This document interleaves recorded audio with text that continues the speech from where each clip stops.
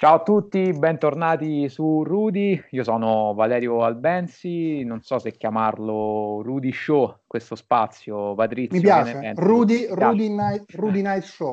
Rudy Night Show, ecco. Ciao Patrizio Cacciari, come stai? Eh, bene, bene, certo, mi aspettavo pure qualche balletta, però qui vedo solo, vedo solo barbe, vabbè, dai, ci facciamo andare bene lo stesso, dai.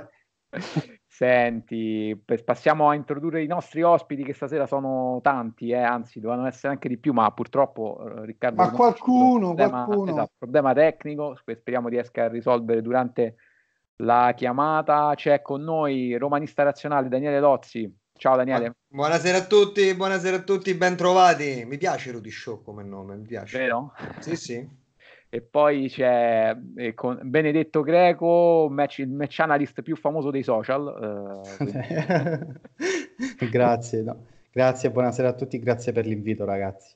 Sempre un piacere parlare con, uh, di calcio con gente che ne capisce. Beh, grazie, ecco. Grazie, grazie. Ci tocca andare Forse via. qualcuno dovrebbe attaccare, vabbè, non dico chi.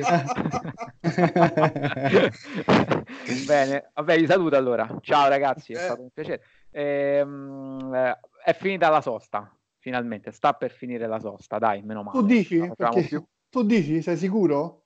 Perché dici che il maltempo può fare qualche eh. scherzo, eh. può giocare qualche brutto scherzo, dai, speriamo di no, perché la voglia di, di tornare a vedere una partita della Roma è tanta. Eh, fortunati sono tanti però, eh. Quindi il cinismo di romanista razionale qua, eh. la razionalità del romanista preferiresti, preferiresti un rinvio eh, piuttosto che giocare Insomma, devo giocare sotto l'acquazzone, quindi diciamo che la, il vantaggio tecnico lo perdo, perché comunque se, se, se, si gioca comunque il campo sarà abbastanza pesante. Mm. Bene che va, con tanti infortunati, dovrebbe giocare, ma tu lo immagini Pastore in un campo pesante di, a Genova? Ecco, subito, subito la critica gratuita, l'attacco personale no, no. al giocatore. Vabbè, no, comunque, io lo so perché tu hai letto non... notizie dalla Cina, già, già, te lo vuoi mettere in bilancio, di che riconosco. Scusate, il, conduttore, il conduttore sono io, il conduttore sono io, quindi vi richiamo all'ordine. Innanzitutto, Scusi, innanzitutto vi ricordo che oggi sono esattamente 21 anni, 21 anni da quel Roma-Fiorentina che consacrò la stella di Gustavo Avie Bartelt, che è un giocatore è un giocatore fenomenale, un giocatore fenomenale del quale io mi innamorai perdutamente, comprai a Fantacalcio spendendo tantissimo, tipo un quinto de, de, del mio budget per Gustavo Gartelt. È un giocatore fenomenale che ci manca, a me manca, non so se anche a voi manca. A me, a me decisamente no, anzi Come penso no? si tratti di uno dei peggiori attaccanti che abbia mai visto con la maglia della Roma, forse allora, non sbaglio, non lo so. Delle quali ti assumi la responsabilità. Eh? Ah, ti stai già tirando fuori, cioè nel senso di... Beh, il problema di parte è, è, che, vado un po' a memoria, arrivò lo stesso anno di Vieri alla Lazio. Sì, esatto. Più o meno gli stessi giorni. È, que- è quello, perché io mi ricordo la polemica. Quello è stato il problema vero. Comunque, basta cazzeggio basta cazzeggio, parliamo, parliamo della Roma, eh, di questo Samp Roma. Cosa vi fa più paura? Eh, la nuova Sampdoria di Ranieri oppure le assenze? Parto dagli ospiti, quindi cominciamo da Benedetto. Vai Benedetto. Sì, vabbè, eh, diciamo che dopo avere una Sampdoria io ero partito con proprio la mentalità tipicamente romanista di aspettarmi una Samp stile Real Madrid, adesso che c'è Ranieri diciamo stile atletico. Quindi il livello rimane alto però al di là di questo diciamo di questo confronto eh, sappiamo che se chiamano un allenatore come Ranieri le squadre è perché hanno problemi in difesa. Se hanno problemi in difesa chiamano lui di solito lui la prima cosa che fa appena arriva la, li sistema quantomeno abbassa il, il livello di, eh, abbassa le conclusioni ecco, che, che, la squadra deve, deve, affrontare, alza il livello dei giocatori che di solito sono andati male. Io penso, scusate, a, a Murillo, un difensore centrale che sta giocando malissimo, ma secondo me non è di questo livello. E mi viene di fare un paragone al Fazio dell'anno scorso, che ha fatto totalmente pena, mi dispiace dirlo, per, per sei mesi, sette mesi, poi è arrivato lui e è stato messo a suo agio giocatori come Berezinski, lo stesso Murru, giocatori che non sono di livello da, da, squadra di ultima classifica e sicuramente li ripristinerà, secondo me. Eh, adesso da qui a dire se ci riesce in una settimana nella quale, a quanto ho capito, eh, poi di meteo non sono bravo, eh, in una settimana in cui è stato pure difficile allenarsi a Genova, non lo so. Eh, io mi fido di uno che ha vinto la Premier League con una delle squadre più, più scandalose degli ultimi anni, anzi di, di, tutto il secolo calcistico, quindi purtroppo mi preoccupa questo arrivo, solo per questa partita perché poi diciamocelo, mh, mm, buona fortuna a lui eh, come allenatore, speriamo che quest'anno le uniche due partite che deve perdere le perda contro di noi. Eh, mi preoccupa questa situazione, poi mi preoccupa tutta la situazione infortunati. Mm, infatti, sinceramente, il rinvio non mi dispiacerebbe dal punto di vista sportivo a eh, perdere qualche giorno, ritornare a giocare a casa tua e fare due partite in casa tua, vedere anche Geco con questa maschera come si trova, perché ancora non sono convinto di Kalinic.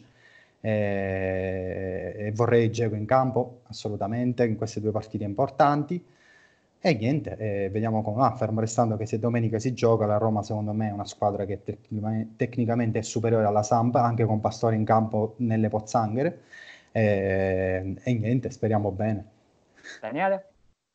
Ma io sono preoccupato da entrambe le cose e ci aggiungo il tempo, come dicevo prima, perché sicuramente in generale, mo, al di là di Ranieri, che comunque ritengo un, un, buon, un buon allenatore e sottoscrivo le, le parole di, di, Benedetto, ma in generale quando c'è un cambio di allenatore, nella prima partita comunque i giocatori danno sempre un qualcosina di più perché comunque si vogliono far vedere, vogliono fa, fa, far vedere al mister di essere squadra. Inoltre ci metto che secondo me eh, la squadra di Fonseca, la Roma di quest'anno, si adattava meglio uh, a, al gioco di Di Francesco perché comunque quando trova eh, spazi, a, spazi più aperti eh, sa essere devastante. Basta guardare la partita col Sassuolo. Dove De Zerbi è un bravo allenatore, ma comunque è uno che fa giocare la squadra, quindi lascia anche qualcosa alle spalle e alla fine tu, tu te lo vai a prendere. In più c'è il fattore infortunati. Il problema è che noi abbiamo tanti infortunati e, e tanti nella stessa zona perché comunque ti mancherà Pellegrini e ti mancherà ancora Undere che doveva rientrare e non rientra eh, ti, ti, mancherà Mkhitaryan, eh, che sono comunque il, eh, diciamo, quel terzetto che ti fa gioco, no? Che, che crea anche la manola Roma, al di là di Geco, che rimane il, eh, il, fu- il fulcro della squadra e quindi se ti manca si sente per quanto Kalinic possa salire di livello nel corso della stagione, tutti noi ce lo auguriamo, è improbabile, se non impossibile, che, faccia, che dia quello che dà Giacomo normalmente alla squadra. Quindi è una partita in questo momento piena di insidie. E se proprio ci dovesse essere questo rinvio, diciamo che me lo prenderei con il sorriso sulle labbra. Scusate, io intanto stavo ridendo non perché sono pazzo, ma perché stavo congedando Riccardo Cotumaccio via WhatsApp. Perché che non ce l'ha fatta. No, bandiera bianca, non si riesce a capire. Allora l'ho congedato con un molto romanista, grazie lo stesso. Ecco, quindi allora, allora purtroppo non c'è stata questa. Poi ecco, magari la, si la ascolterà. Sì.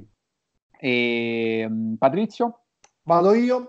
E mi preoccupa, mi preoccupa sicuramente il tempo, perché, ma soprattutto perché temo il rinvio della partita. Io in realtà vorrei giocare, vorrei che la Roma giocasse perché non, non mi fa paura la Samp ehm, con i Cerotti eh, che, che, ha trovato, che ha trovato Ranieri. Secondo me è una squadra abbastanza scarsa, costruita male. Non so quanto riuscirà a dare lui in così poco tempo, perché è arrivato veramente da pochissimi giorni. Quindi io ne approfitterei proprio perché uno, non sopporto la classifica, quella con l'asterisco che dice una partita in meno, perché poi ti fa sognare che magari sei messo meglio e invece poi il recupero ti capita come capitò due anni fa, in mezzo alla settimana, a gennaio, quattro mesi dopo. E poi perché secondo me oggi la Roma, nonostante le assenze, può, può dire la sua. E onestamente io non rischierei Geco con la maschera perché subito dopo abbiamo due partite importanti, sia quella di Coppa che con il Milan in casa. Quindi francamente anche i giocatori che sono arrivati all'ultimo e che abbiamo esaltato, cioè che ci hanno fatto migliorare anche il voto, il voto del mercato della Roma, oggi devono, devono rispondere. Quindi chiamo Kalinic in questo caso e quando sarà Mkhitaryan, quando lo rivedremo in campo, a farci vedere che non ci sbagliavamo. Quando abbiamo dato 7 al mercato della Roma, 6 e mezzo, 7, proprio perché sono arrivati loro all'ultimo, negli, negli ultimi giorni, ora loro devono, devono farci capire che eh, ab- abbiamo fatto bene a dare quel voto. Quindi io spero si giochi onestamente. Ok, Benedetto, tu lo rischieresti Geco oppure pensi che sia meglio farlo riposare? No, no. Troppo rischioso? No, no, ci sono due partite troppo importanti, ha ragione Patrizio. Cioè, la partita eh, di giovedì non, non, si può sottovalutare. Stiamo parlando, se non sbaglio, il, il Gladbach, ecco, chiamiamolo così, è, è, capolista forse in Bundesliga o mm-hmm. comunque è in zona... È, non è una squadra da sottovalutare, non è che la vittoria del Wolfsberger lì ci deve far pensare, come sempre, eh, vabbè, vengono qua, giochiamo facile. Secondo me sarà la partita decisiva di questo girone. Eh, il Milan, figuriamoci, non lo so io. Eh, poi giustamente eh, sono sicuro che lui sia avvelenato perché ha saltato due partite in nazionale terribili. Una di queste l'ha persa la Bosnia e non credo sia quella che la, quasi la condanna a non andare agli europei, quindi immagino che sia avve- avvelenatissimo proprio. Eh, immagino che scenderà in campo deciso, però anche non so fisicamente sta maschera, lui che è uno che gioca molto gioco aereo, quanto lo può mh, sminuire nel suo gioco. Deve essere mh, convinto di giocare questa maschera, di, di, di, scendere in campo, di essere a suo agio. Eh, quindi no, non lo rischierei. Poi insomma, questo attaccante l'abbiamo preso per un motivo. Eh, questo secondo attaccante eh, può, può, giocare Sampdoria a Roma un giocatore come Kalinic secondo me Tanto scusate, Ragazzi, Tumaccio mi ha scritto che, che si, si, sta uccidendo, eh, quindi io non ah, so se forse no. è il caso di interrompere per fargli una telefonata perché non vorrei, sono un po', un po' preoccupato. Ragazzi, io vi, devo, io vi devo salutare purtroppo. E Ciao Patrizio. Vi auguro buon proseguimento, ci sentiamo domani, ci leggiamo su Rudy e ci leggiamo ovviamente sulle vostre pagine social di riferimento che tanto dopo Valerio ricorderà. Ciao a tutti, buona, buona serata. Buona serata, buona serata. Ciao. Ciao. Ciao. Bene, siamo, siamo, rimasti in tre. Siamo oh. rimasti in tre, quindi ritmi più blandi, più rilassati. Sì. no, eh, che, che, cambi vi aspettate da, da, Ranieri? Vi aspettate di rivedere una Sampdoria col 4-3-1-2, Daniele? Bah, o 4-3-1-2 o, ritor- o un ritorno addirittura al 4-4-2. Io mi aspetto un Quagliarella più incisivo. Mm-hmm. Perché secondo me il cambio, il cambio di allenatore può, può favorire un ritorno di Quagliarella che obiettivamente con Di Francesco è andato male. Eh, non era il Quagliarella della scorsa stagione né, né, delle stagioni precedenti. È un attaccante che chiaramente sta andando verso il finale della sua carriera e quindi eh, potrebbe, avere, potrebbe anche avere un calo per questo motivo. Ma è un attaccante che a me poi lo, lo, dico, tu prima parlavi di, di Bartelt, io lo dico di Quagliarella, è sempre piaciuto moltissimo e l'ho preso in parecchi, anche in parecchi fantacalcio, perché comunque è un attaccante di quelli da medio-alta classifica, secondo me, che anche nelle stagioni negative ha sempre fatto il suo comunque. Non è mai andato sotto un certo livello medio. E invece nelle prime partite con Di Francesco quest'anno era sotto il suo, anche il suo livello standard e secondo me mm, Ranieri potrebbe, potrebbe rigenerarlo ed è un cliente scomodo, è un cliente scomodo eh, per, per, Smalling e Mancini, che credo saranno la coppia centrale confermata. E quindi questa cosa un po', un po' mi preoccupa. Per il resto, io non so quanto in una settimana un allenatore riesca ad incidere. Lo dissi proprio per, per Ranieri lo scorso anno quando venne a Roma lavori più sulla testa in una settimana sì. che poi effettivamente sul gioco. Mm-hmm. Perché non credo si possa incidere così tanto se non eh, disponendo la squadra un po' più coperta. Quindi è semplicemente un atteggiamento più, eh, diciamo così, difensivo basso rispetto all'atteggiamento che, aveva, che, che aveva prima. Ma non mi aspetto di vedere un gioco della Sampdoria ancora, anche perché lo ritengo poco possibile. Mm-hmm. Benedetto, tu prima accennavi a qualche cambiamento che ti aspetti da Ranieri, ma il ritorno al rombo secondo te è possibile? Ce lo dobbiamo aspettare oppure forse è un po' presto? Eh, secondo me nelle prossime. In mm. questa per me si mette 4-4-2, 4-4-2. Eh, toglie 4 mediani to- subito. Sì, eh, esatto.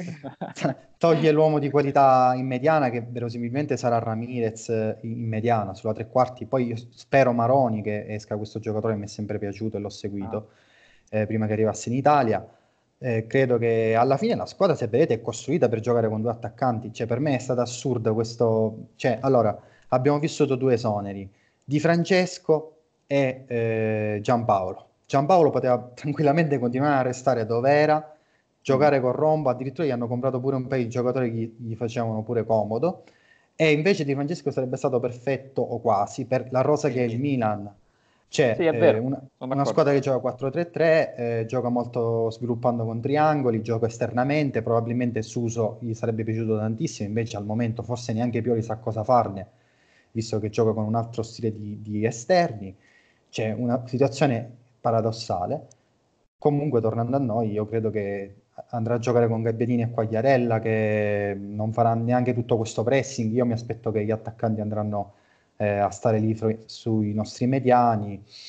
Eh, probabilmente uno dei giocatori che dovrà spiccare di più sarà Rigoni, che secondo mm. me è un giocatore anche lì che deve uscire. Non era malissimo l'anno scorso all'Atalanta, però Invece fece male l'anno scorso. Eh, eh? Sì, appunto. Eh, sì, la migliore partita la fece all'Olimpico, Rigoni. Eh. Nel 3-3 della seconda giornata. Sì. Che fece? Doppietta quel giorno? Se non sì, ricordo male. Sì, o doppietto o gol e assist. Guarda, comunque fece una grande partita. Sì, eh, quindi io, io mi immagino questo, ecco, che lui in questa partita giochi addirittura per due risultati su tre.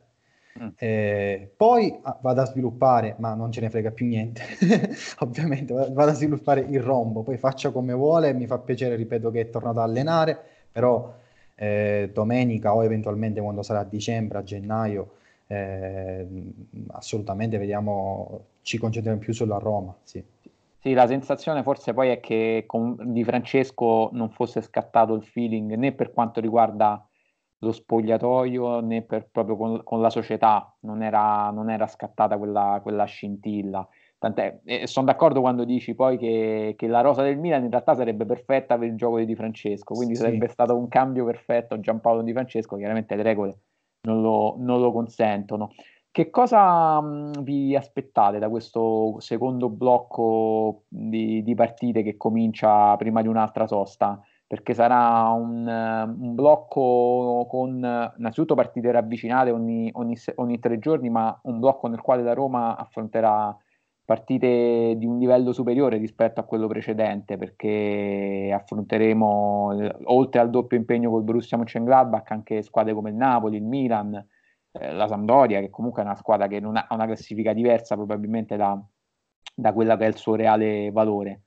Eh, Daniele, che cosa, cosa ti aspetti dalla Roma? Quali miglioramenti? Eh, quello che mi aspetto è che faccia quel passo ulteriore eh, che le manca per diventare la squadra di Fonseca. Mm, vado a spiegarmi.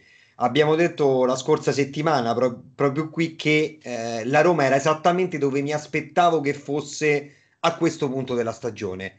Chiaramente la crescita della squadra deve continuare in questo senso, però, sono preoccupato dai giocatori che mancano, perché comunque questi infortuni potrebbero eh, rendere più difficoltoso questo step ulteriore che deve fare la Roma per arrivare eh, a compimento come squadra, proprio a sbocciare come squadra.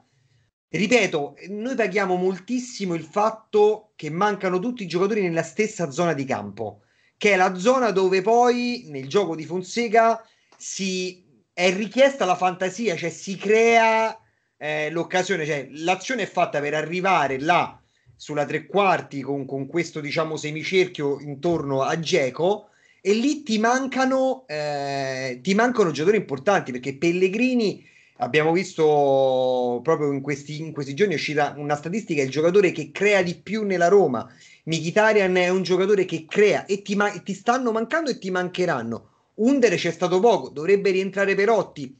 Non vorrei che questi infortuni barra rientri, quindi comunque ci vuole un po' per carburare, eh, rallentassero questa crescita in un momento in cui la Roma deve dare questo, eh, questo nuovo input, questa spinta e sbocciare eh, come squadra Dall'altro canto mi aspetto però, e questo invece secondo me si sta vedendo, si è visto anche nelle ultime partite prima della fine del, ehm, eh, della sosta, diciamo prima della sosta, il miglioramento in fase difensiva. Devo dire, quello per me, secondo me si è visto chiaramente, si è visto chiaramente già col Bologna, dove rigore a parte, poi possiamo parlare ore per dire se quel rigore c'era o no. Per me no, ma comunque quello, quello è. Eh, il Bologna ha creato pochissimo, il Lecce a Lecce ha, che, ha creato pochissimo, il Cagliari, che comunque è una buonissima squadra, a Roma ha creato pochissimo, ma veramente poco. Io non ricordo a, né azioni clamorose né parate di Paolo Lopez. Eh, no, Benedetto mi potrà aiutare con i numeri, ma sì, sì. non credo il Cagliari. E questa cosa mi piace perché vuol dire che la Roma quantomeno ha acquisito una certa solidità difensiva. E in questo, io ripeto, secondo me, grosso merito va anche a Smalling che è arrivato e si è imposto. Si è imposto come leader della difesa eh, e non era banale e continuo a dire come mi aspettavo da inizio anno che il suo uh, il, il, giocatore che giocherà al suo fianco sarà Mancini più di Fazio perché comunque interpreta il ruolo con quell'aggressività in avanti eh, che vuole Fonseca e che Fazio non ha proprio come, come caratteristica. Quindi rispondo, chiude, chiudo rispondendo alla domanda cosa mi aspetto che la Roma sbocci però qualche timore degli infortunati l'ho. Guarda, eh, poi magari nei commenti al video metteremo, c'è un bellissimo grafico di Francesco French su eh, Twitter in che cui che mostra, proprio, sì, mostra proprio bene la, l'incidenza di, di, Pellegrini nel gioco della Roma, quindi quanto questa assenza purtroppo pesa nell'economia del gioco della Roma. Benedetto, da un punto di vista tattico, che cosa, che cosa ti aspetti da questo blocco di partite della Roma? Di più solidità, e, allora, solidità, io, io, innanzitutto mi aspetto un po' di continuità in difesa, che giochino Fazio e Mancini, scusate, Smalling di più insieme. Quindi quella è la tua coppia, anche per te? Smalling, Al momento sì, sì. Mm-hmm. Allora, su Smalling io sapete che proprio storicamente ancora ho sempre de, eh, tentenno, aspetto, speriamo, spero, ogni volta che fa un contrasto esce e va bene, va in intercetto io riprendo morale e spero sempre di più che i miei tweet passati qualcuno me li venga a rinfacciare. Lo spero, me lo auguro tantissimo. Cioè, a, aspetto quel momento della fine stagione in cui mi dice ah guarda che idiota hai scritto questo su Spolling, io dico su Smalling, io dico meno male. Però ho visto che in queste partite in effetti come diceva Daniele i due si sono mossi bene, parlano tantissimo, Mangini sembra proprio uno che rompe, sembra è proprio uno che parla tantissimo, che indica, ehm, deve migliorare tanti aspetti del suo, del suo, gioco, ma è giovanissimo anche lui e ce lo scordiamo forse. Eh, e quindi mi aspetto che diano continuità loro, alle loro prestazioni, perché eh, una coppia difensiva che giochi tante, tanti minuti, tante partite è importante per una squadra che gioca come la nostra, che gioca alta, eh, che gioca di, di, di, equilibri molto flebili, molto piccoli in transizione soprattutto. Eh, poi cosa mi aspetto? Mi aspetto che il mister trovi questo piano C, perché il piano A di questa squadra era eh, mettere tanti rifinitori a, eh, sulla tre quarti, creare tante di quelle linee di passaggio, tante di quelle possibilità di, di sviluppare l'azione che a un certo punto facevi 4-5 gol, anzi 4-5 occasioni da gol nette a partita. Partite stile Roma Sassuolo, in cui se tu vedi scende un alieno che conosce sul pianeta Terra e conosce solo De Bruyne e ti dice quello è De Bruyne, non è Pellegrini, perché la partita che ha fatto contro il Sassuolo De Bruyne e i suoi numeri, a proposito del grafico di, di French, sono da De Bruyne.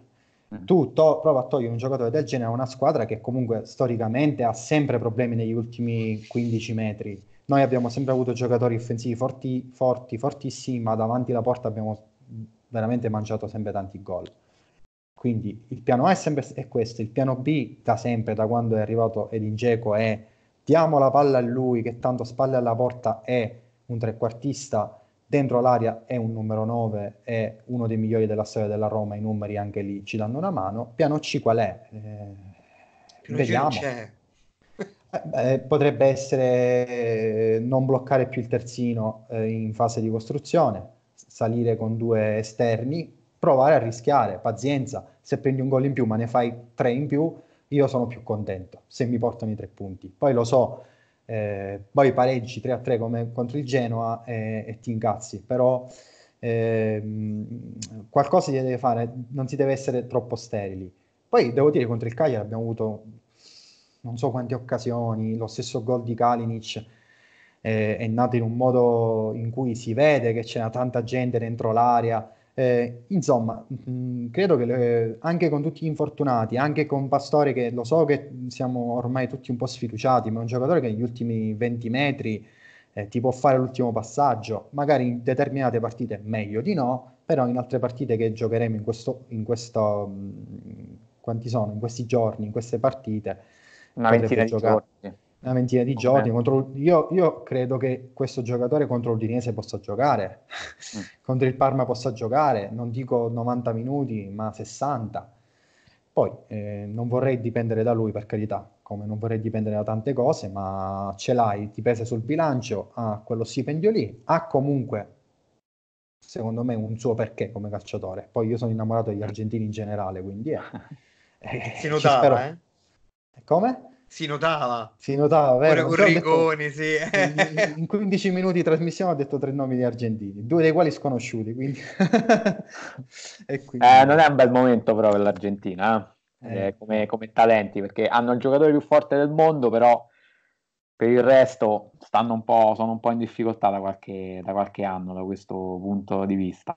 Sentite, invece Andrei Suzzaniolo perché oltre al fatto che personalmente mi aspetto molto da, da Zagnolo in questo, in questo blocco di, di, partite, però si è parlato tanto di lui, eh, questa volta non tanto in chiave di mercato quanto di, di futuro tecnico, perché lo abbiamo visto giocare dal prim- esordire dal primo minuto con la nazionale da mezzala. Nella Roma non esistono le mezzali, quindi mh, probabilmente non, non, verrà mai, non, nel, insomma, non verrà chiamato a fare quel ruolo però vi chiedo, nella Roma, eh, innanzitutto qual è secondo voi il ruolo ideale per il futuro, per il futuro di Zagnolo?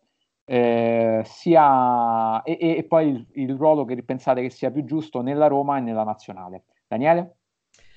Io lo dicevo anche l'anno scorso, per me lui è, è una mezzala alla Gerard, occhio, è lei, non, non, che sia Gerard adesso, per carità di Dio, non voglio dire questo, però come tipologia di giocatore secondo me Zagnolo dà il meglio di sé in, quelle, in, in quella zona di campo dove eh, può usare il suo fisico per il recupero palla, quindi facendo anche la, la fase difensiva, ma soprattutto inserendosi poi in, in fase avanzata. Il primo gol dell'Italia che fa Bernardeschi su quel contropiede chi attacca la porta è Zagnolo. Io non so se ci, se, se ci, avete fatto caso, lui porta via il centrale, quindi lasciando lo spazio indietro a Bernardeschi che si ferma prima eh, al limite dell'area. E quello, secondo me, Zagnolo ce l'ha proprio innato, quel tempo di inserimento di andare dentro ce l'ha innato.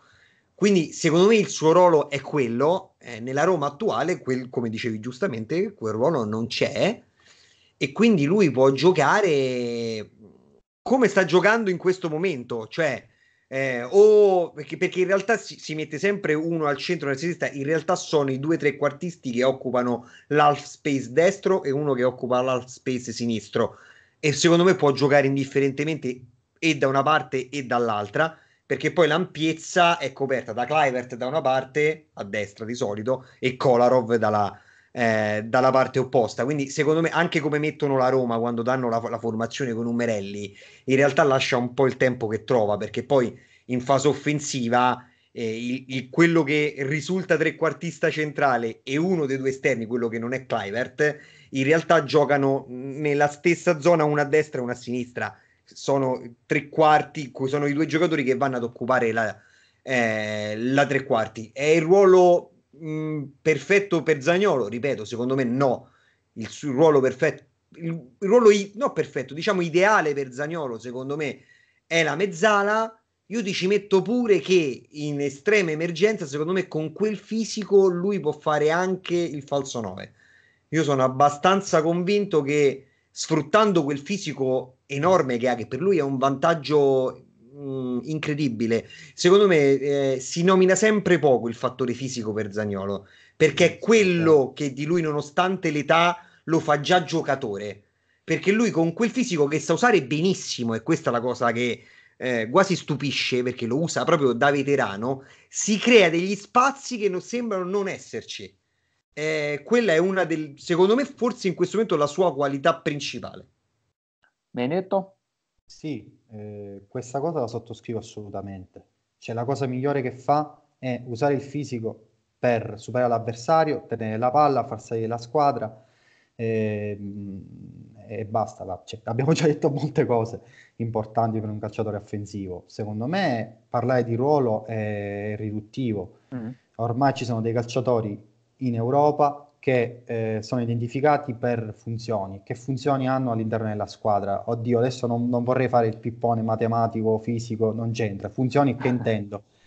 Un allenatore guarda questo giocatore, lo allena e dice allora, questo ragazzo è bravo a correre, perché in effetti si ha spazio avanti, è fortissimo a correre. Anche contro avversari che sono più forti e più esperienti di lui. Questo ragazzo è bravo a difendersi col corpo.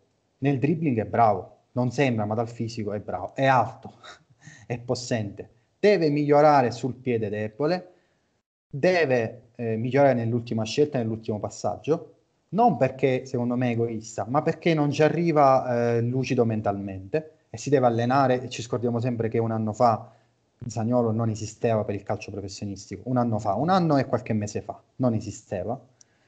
Quindi è bravo a fare tutte queste cose. Dove è meglio che le faccia? In quale zona del campo? Generalmente nella zona centrale, generalmente nella zona laterale. La sua partita migliore l'ha fatta uh, come ala destra, come esterno destro in 4-2-3-1, Roma-Porto 2-1.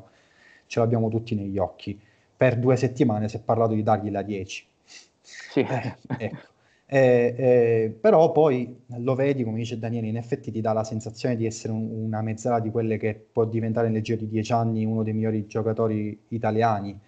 E Mancini che non è uno stupido, uno sprovveduto, eh, lo, lo, ha capito an- come Di Francesco, lo ha capito molto prima, lo ha pre- preconvocato quando ancora lui non aveva giocato. Secondo me è un calciatore che crescerà in un calcio come questo in cui eh, io torno sempre, non so perché, a De Bruyne o comunque a, a Manchester City, in cui tu vedi che De Bruyne, eh, vedi lo schemetto iniziale 4-3-3, De Bruyne mezzala, poi guardi la partita dove, dove è mezzala, perché una volta è sulla tre quarti, una volta da ampiezza a destra, la maggior parte dei passaggi chiave li ha dati di là, poi una volta ti fa, le, ti fa, il centravanti, la seconda punta, un'altra volta ti fa il mediano, è sempre il primo a recuperare la palla, un'altra cosa importante che avevo dimenticato che sa fare bene Zagnolo, aggredire in avanti e questa è una cosa fondamentale nel calcio moderno. Quindi secondo me andarsi a, a, a, a pensare ma dove può giocare meglio Zagnolo di qua, di là, eh? Eh, per come lo fanno i giornali di, di oggi è semplicemente ehm, eh, sprecare carta. Per come lo, fa, eh, lo fate voi anche su Rudy, e a ampliare un pochettino il discorso, cercare di parlarne meglio, andare a integrare con le statistiche. I giornali lo fanno perché oggi non sappiamo cosa scrivere, c'è la pausa nazionale, buttiamola su Zagnolo. Però eh, secondo me un allenatore che ha Zagnolo in rosa è contentissimo, perché ovunque gli serva lo mette. Se poi stanno tutti bene eh, eh, e lui vede che per esempio Pellegrini, ecco Fonseca, vede che Pellegrini nella zona tre quarti centrale rende troppo meglio di quanto non faccia nella zona mediana, sacrifica un pochettino, tra virgolette, di più Zaniolo e lo mette a destra. Per un motivo, perché la squadra è sempre più importante, sempre più importante.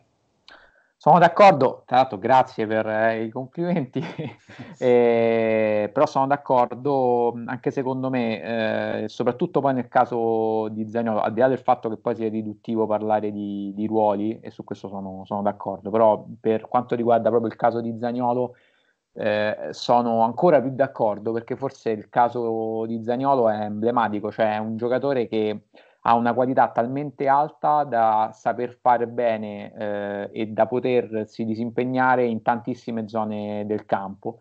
E, ehm, io, io, dico che secondo me per le sue qualità eh, deve stare vicino alla porta più possibile perché ha un gran tiro, tira caccia bene con entrambi i piedi, come dicevi tu Benedetto non ha ancora all'ultimo passaggio de, non è lucido in, quel, in, quella giocata, però è per esempio è, è, molto bravo a aggredire in avanti, eh, è molto forte fisicamente, a dribbling, quindi ca- se ha spazio è, è, letale. Secondo me non ha ancora, e non so se ce l'avrà, ma questo poi ce lo dovrà dimostrare lui, un'attitudine difensiva sufficiente per giocare per esempio da, da mezzala a, a grandissimi livelli, ad altissimi livelli, però magari poi è talmente giovane che, che, potrà, che, potrà, smentirci, quindi anche secondo me diciamo che la, la, zona di campo dove lo vedo meglio è sicuramente in una zona di, su, sulla tre quarti, ecco, eh, dalla tre quarti in su perché non escludo anche altre collocazioni più vicine, più vicine alla porta. Dall'altro mi collego al discorso di Zagnolo che è stato nominato tra eh, insomma, i, i, 20 finalisti del Golden Boy, no? il, trofeo, il, il premio che tutto sport eh, assegna ogni anno migliori, al migliore giovane europeo. Ehm, vi chiedo, eh, dei 20 finalisti rimasti, qual è la vostra cinquina? Cinquina. Eh, Okay. io vi par- parto dalla mia, dai, parto dalla mia così magari avete il tempo di, di un attimo. Io vi dico, e ve li dico in ordine. Aspetta, allora mi prendo, mi, mi prendo, la lista intanto, così okay. la cerco. Vai. Io lo dico dal, dal quinto al primo, al vincitore. Sì. Eh, Kai Havertz, il quinto. Nicolò Zagnolo, il quarto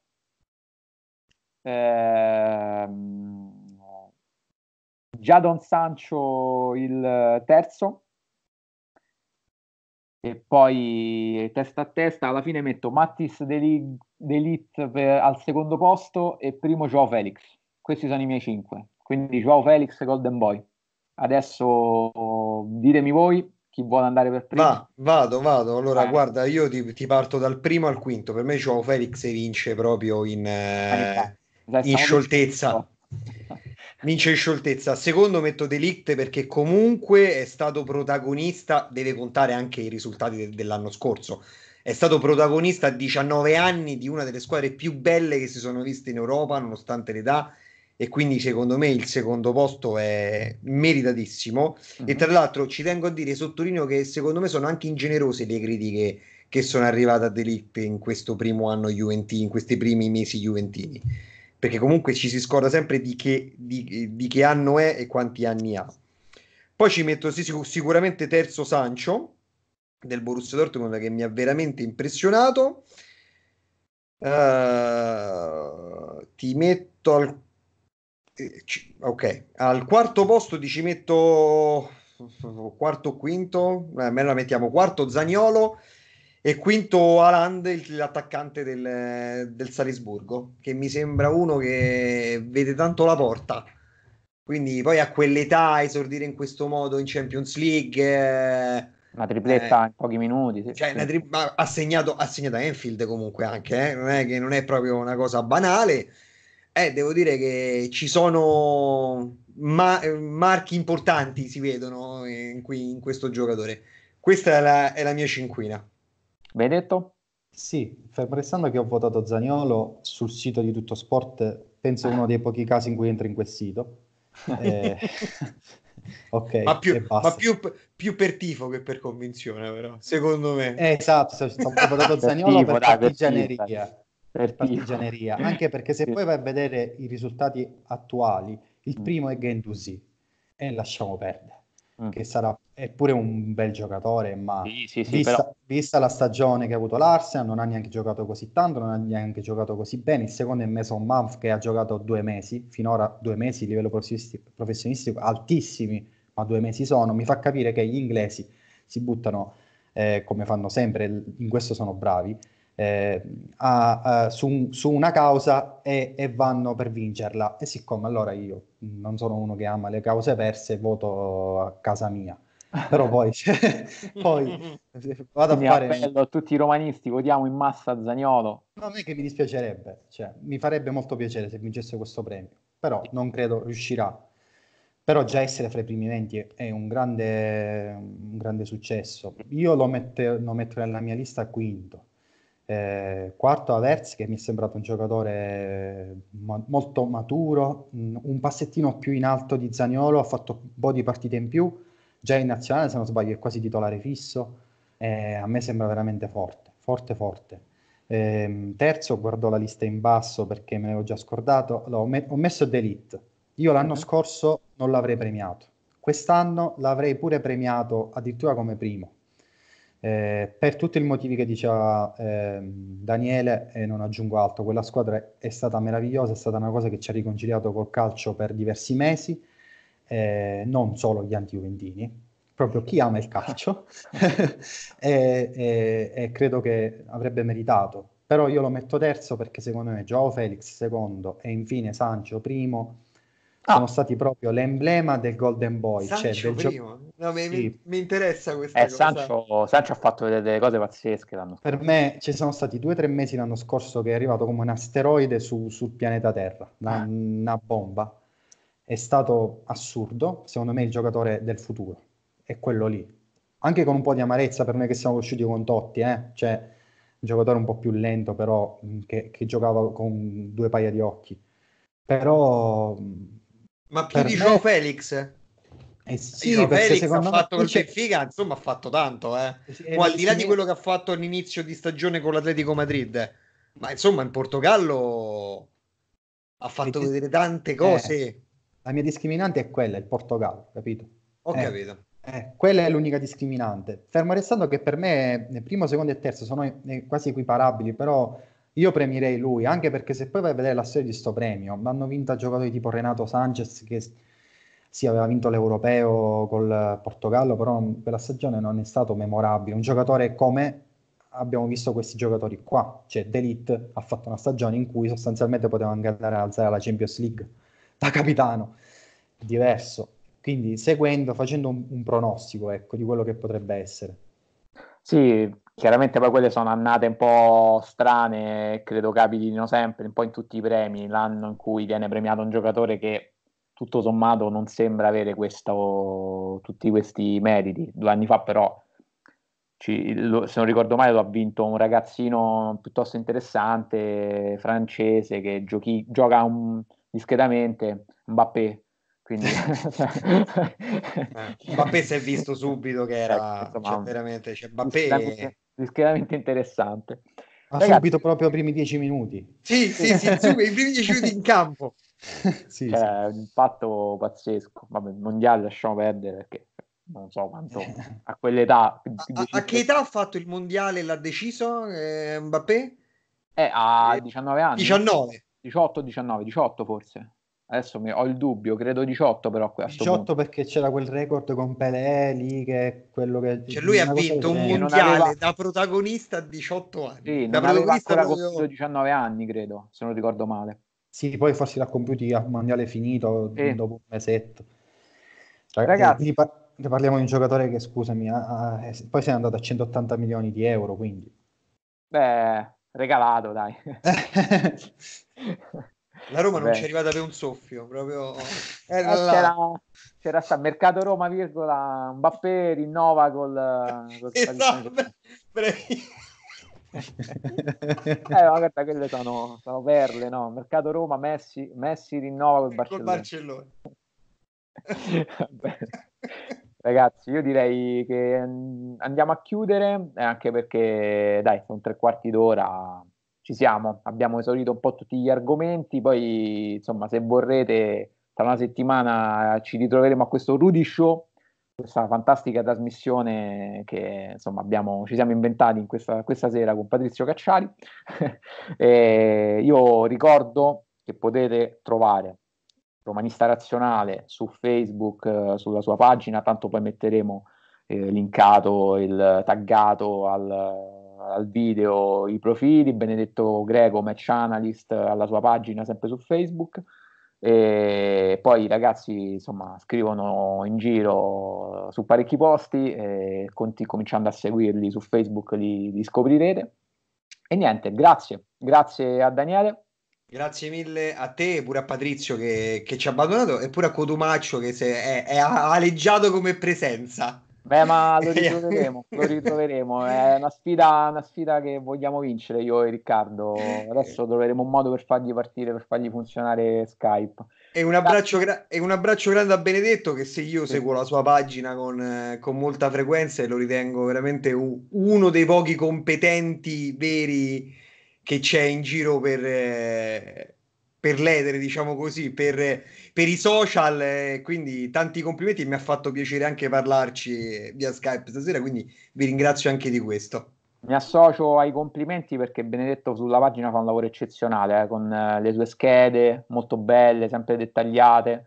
Eh, io spesso anche per i pezzi per Rudy prendo spunto, cito sempre, eh, Benedetto, non ti rubo niente. No, figurati.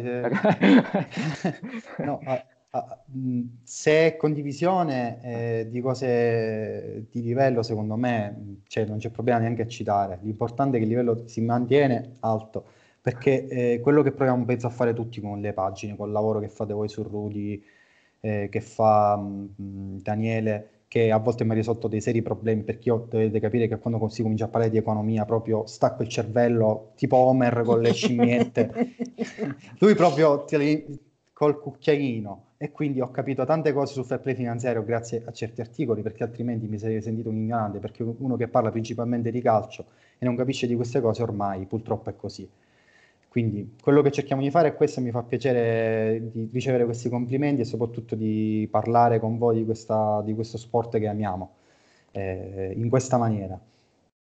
Bene, grazie ragazzi. Grazie, buona serata a tutti, buona serata. Ciao, ciao, ciao. ciao. ciao.